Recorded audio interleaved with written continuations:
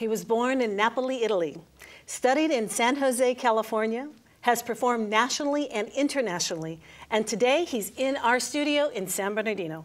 In a moment, a conversation with Italian tenor Pasquale Esposito.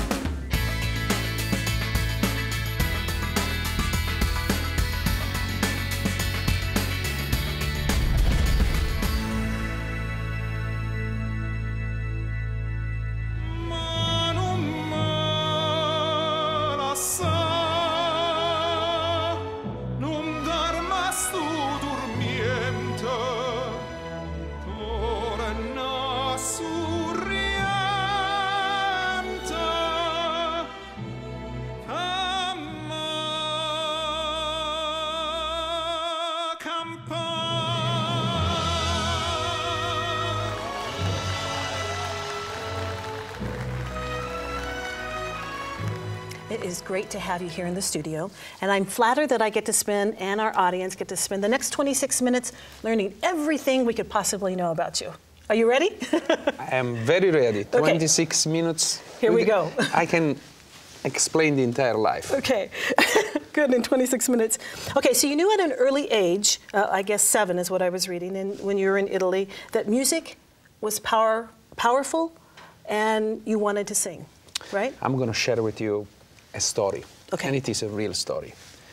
Uh, I was a, a, a, young boy when during summertime they used to ship me to my grandparents to spend the summer with them.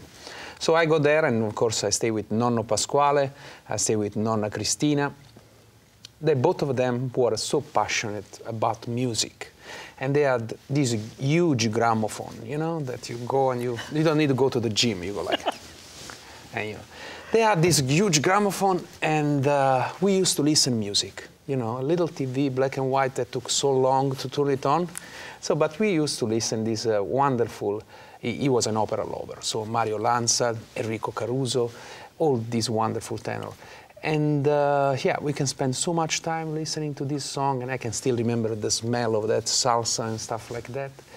What happened is my grandfather tells me, do not touch the gramophone. When I am here, we can play the music together. Guess what? You touch the gramophone. He leaves, I break it. But I broke the head, you know? And I remember I was probably five, six years old. I break this thing, I go to my grandmother and say, look what I did. And she's like, you're gonna tell to your grandfather what you did. So I remember that night. I still remember the feeling. There is a certain moment in life that you will never forget.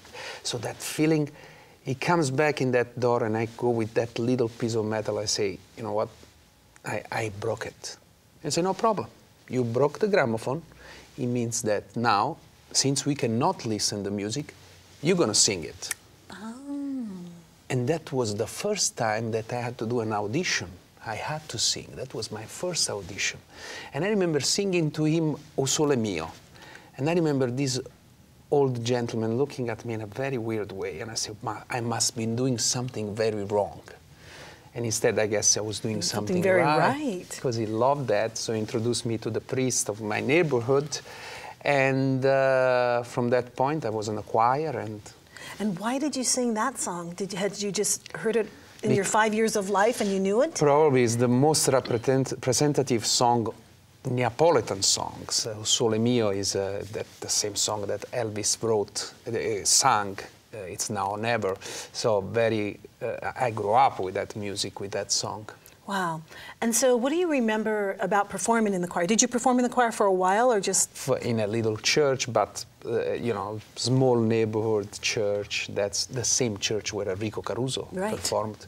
And, you know, and you are there with the little kids and they start to pick you for solo parts. Mm -hmm. And I saw that often I was picked as a solo part. So I became a solo singer in that choir. I had to sing during Christmas and and that was the beginning. Uh, and how was it growing up with your four sisters? You were the only only boy of the five children, the so probably a little spoiled. Yeah, I'm guessing. Spoiled. Mama probably spoiled you. Yeah, and the sister they were taking care, good care of me, and and to, you know the the fantastic thing of living in a family with all these uh, ladies, I I have this amazing relationship with all the females surrounding me Uh, it's like I, I, I understand. I understand you. I understand how you think, how you feel, your sensitivity of the other gender, and that makes me more, having more girlfriend than boyfriends, to be honest. So then you had good practice then having your sisters or your, or your family and then performing for probably the majority of female audience. Um, you have that connection, yeah? I'll try. Yeah, yeah. I'll try to have that connection. Um, you know, when I'm on stage, I always say that the best thing is being yourself, like I am now with you and with them, that they are home. They will really, can really feel who I am and I was born in this way and I want to stay this way no matter how What the career. Yes. Yeah. I was lucky to have in my life very special coach since at the beginning. The priest of the church was a musical uh, instructor and, and, and that is that was formed me uh, at that age already learning on how to breathe, how to use the diaphragm, and uh, always trying to understand the gift that God gives to you, that it is the voice, and the respect of that, the implement of how to make it always better and better. So in Italy, I studied uh, um, until I moved to the, to the United States, and of course, I didn't speak any English. So I had to start all the way from general education and get to San Jose State in California. So, let me ask about that. When did you decide, or why did you decide to come to make the United States your second home? And then I thought I read you you won a uh, winning a green card lottery. How does how does that work? how that works, yes. I remember traveling with my best friend. His name is Massimo. He's a guitar player. We're traveling around Europe, and I I met this beautiful girl. And she invited me for a summer here in the United States. She lived in Palo Alto. Oh. So I go to Palo Alto, and with my dear friend Massimo, we start to sing around and see that people really loved the Italian culture. And say, wow, this is, this is really, people really. And uh, so moving over here, she said, I would like to stay here. I love California. I love these, uh, these, these people. And she said, okay, you can definitely do that, but you will need to marry me. I say, wow, I, I, I really am not ready. I'm too young. So I said the other option will be the green card, and that is a lottery that the government offer Oh, I didn't know to many people.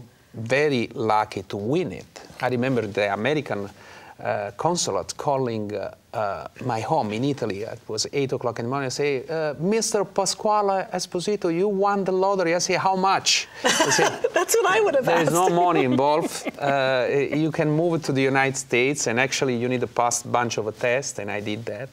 And I moved to this country, and all by myself without speaking English. So I start from zero.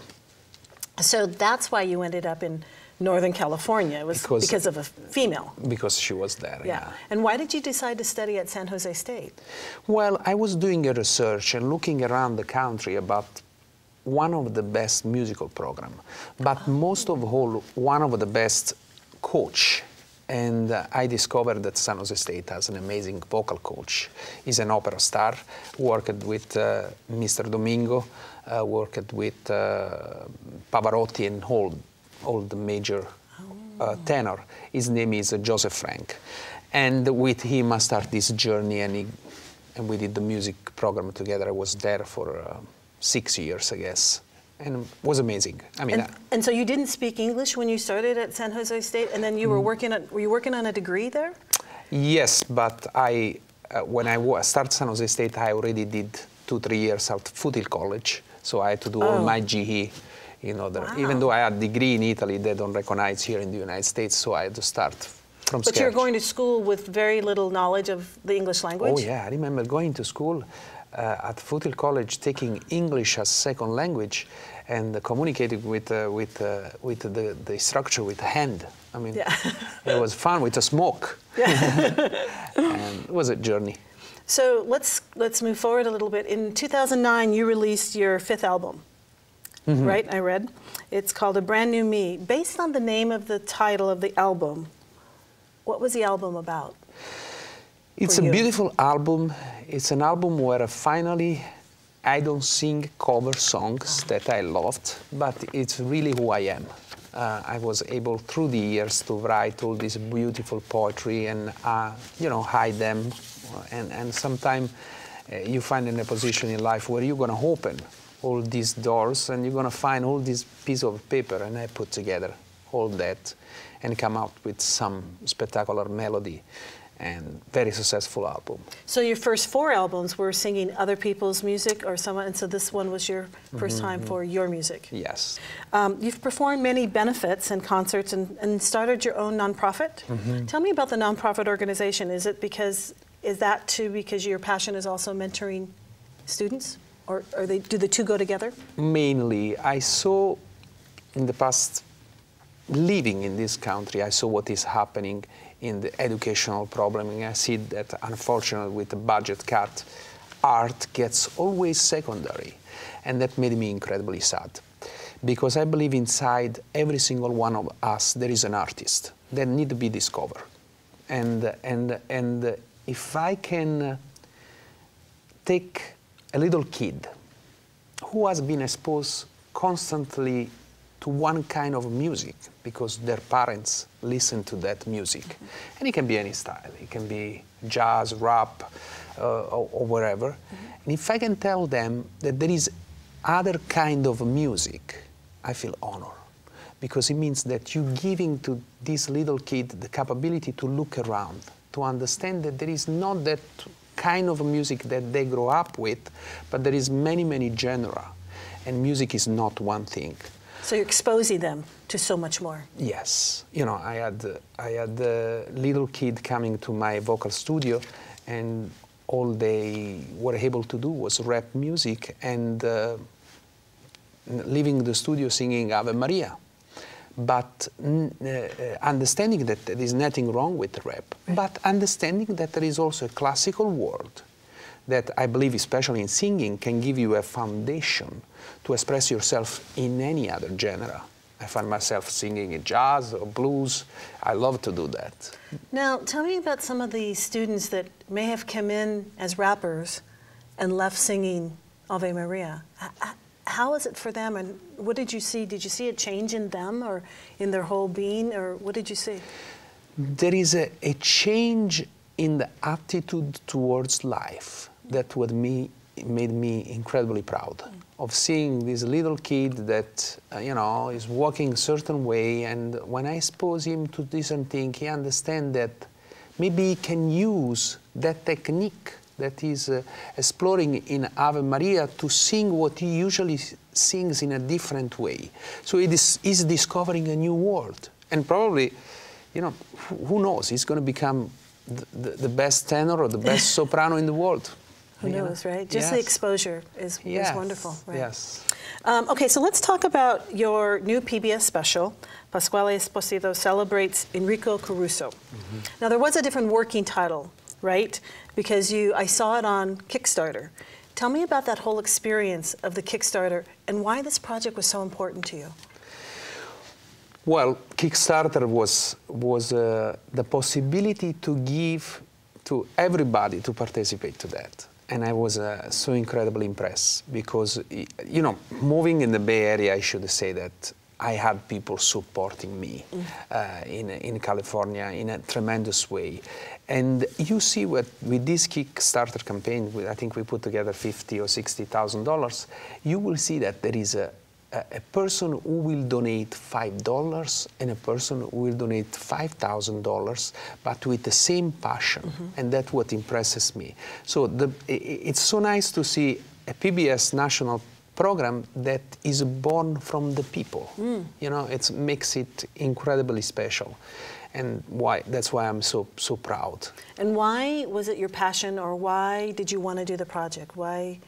Well, it happened to me that I was born in the same neighborhood where Enrico Caruso was born. And I grew up with this figure in my life. You know, I remember with my mother going to the market every day, and she was pointing to me to a balcony and say, you know, there lived Enrico Caruso. And everybody in the neighborhood were talking about Enrico Caruso and going to the church and seeing, oh, in this choir sang Enrico Caruso. So it was, I grew up with this figure always, constantly in my life.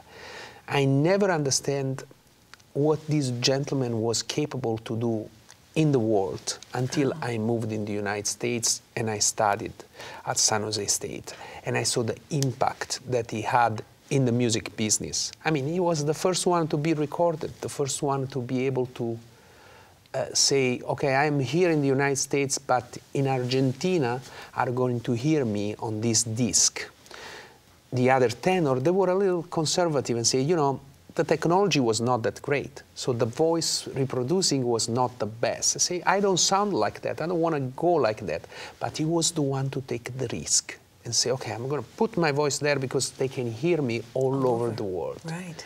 And he made it. I yeah. mean, and being born in a very poor neighborhood, uh, with uh, you know the capability that he had to go out and work to bring money home to support the family. They were incredibly poor, but the mother was the one who always believed in him. So and so for me, it was a journey to do this PBS and trying to create a docu concert, mm-hmm. a combination. So, th- for those that haven't perhaps seen it on PBS yet, tell us a little bit about it and how you came up to make it a document concert event. Incredibly innovative. When I was uh, yes. uh, speaking about this concept to uh, many, many producers, they were looking at me in a very skeptical way and say, how, how you can do that? And I say, yes, I would like to tell a story with music and with a, a travelogue going yeah. around. And it's, it's incredibly difficult because you will have a break, people will get distracted. And, uh, you know, I, I, believed in it. Mm. I am testa dura, like they say. so I say, I, no, I want to do it, I want to do it. And, and I put it together, and I was so incredibly happy and proud when PBS decided to take us on board. Um, so now you have, your, are you working on a sixth album, El Tiempo? Or Il Tempo is already out. And I know you have an upcoming tour coming to the United States. Yes. So will you perform music from the PBS special or will it be from your latest album? Or what, what if our audience is able to join us uh, at the concert, what can they expect to see?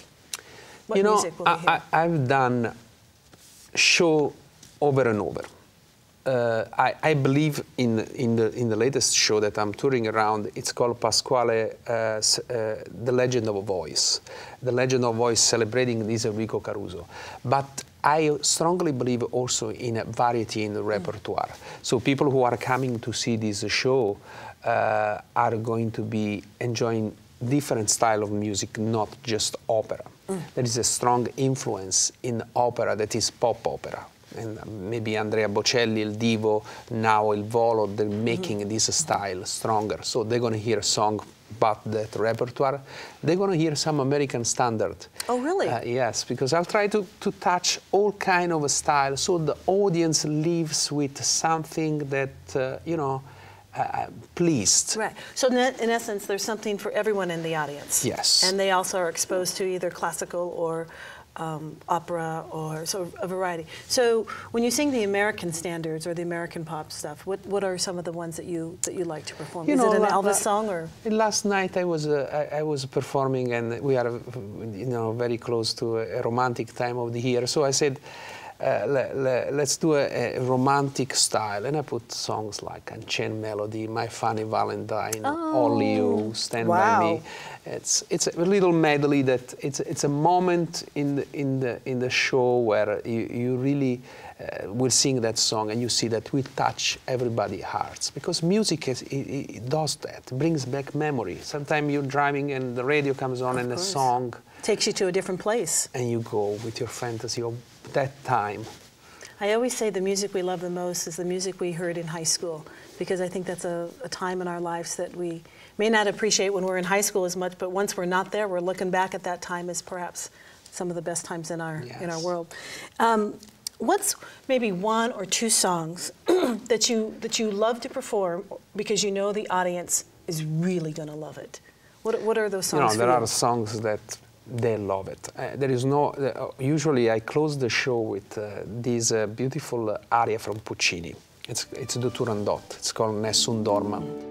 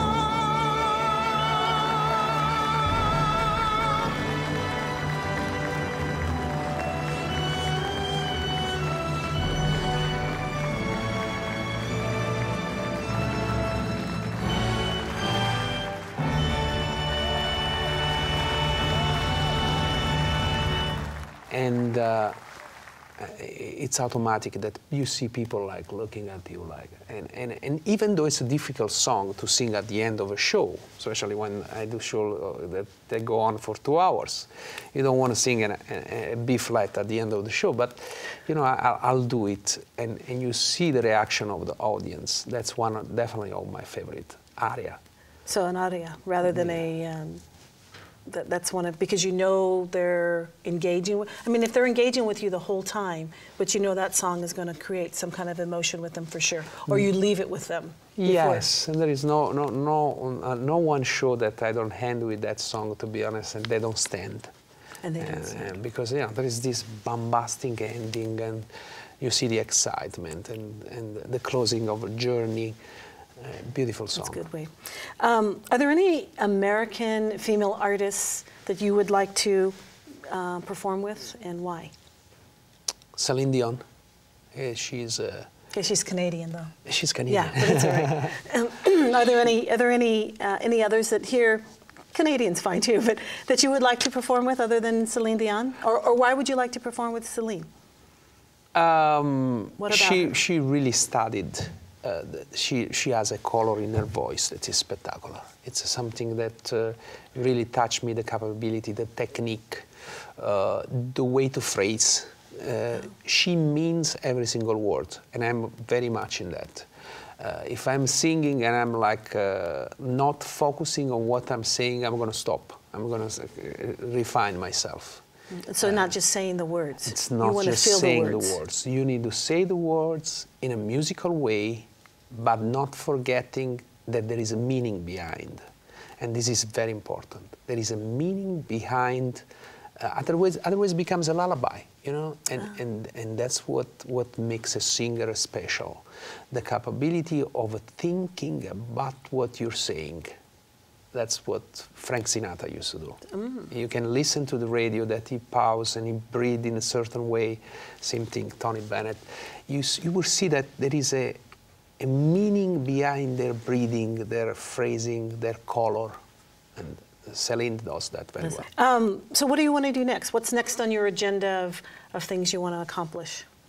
Wow, finishing this, uh, this uh, beautiful PBS show, it took me almost two years and a half, close to three years. Now it's time to deliver this project to the, to the people. And, you know, I'm all around the country and uh, I want to share um, this project. And why I want to share this project is because I believe that can be left to the next generation. The example of Enrico Caruso starting from zero in a very poor neighborhood and dying uh, as an opera star. If you, can, you cannot believe the, the, the power and the impact that he had in the music business. You will, you will not believe that this boy born so poor, without education, will be able to do that in the history of music, 18 consecutive seasons at the Metropolitan, for a gentleman who lived a very short life because he died very, very early. It's, it's an impact in the believing in himself. That's the example I want to be able to deliver to the next generation. If you believe in yourself, if you believe in the gift that God gave to you, things can happen. Hmm. You know, and, and that's what the story of Enrico Caruso. Of course, he becomes incredibly successful here in the United States because this is the land of the opportunity. Think about me. I come over here, I don't speak one single word in, word in English, and I know what you're thinking. You're thinking like, you still don't speak English. I, I cannot understand what you're saying. Yeah, you're right. But mainly, uh, that's, that's beautiful, understanding where we are. This is the land. No, no matter what the news will say, oh, this is who is number one, who is number two. Think about this boy. I came over here 17 years ago, not speaking one word in English, with a little voice that need to be improved and, and be able to have his national show. It can happen here in the United States, and I'm so proud to be an American. Oh, lovely. I want to ask you in our in our last minute, since we have just a second left. I know I talk a lot, so. No, you don't. It's beautiful. Can you share just a one job that you had while you were trying to make it big, that wasn't singing, that you had to do because you had to support yourself. Of course. When I moved to this country, uh, when I went to that green card, they called me in an office. They say, you need to go to work. I say, you know, I, I, am a musician. I can just do music. And they say, I'm sorry, that's not a job. We'll find a job for you. And they throw me in a coffee shop on University Avenue in Palo Alto and I was uh, and I was there making uh, making coffee. And I remember they put me at the cash register, and someone came and they say, "I would like to order uh, a latte, no fat, no foam, uh, two percent." I said, "What what what she's talking about?" in Italy, we have just espresso and latte, so it, it was. And he say, "Okay, you go in the back. You're going to clean the dishes." so, Pasquale, thank you so much for your time. It's been great getting to know you. I appreciate it. I had a great time, and thank you for inviting me.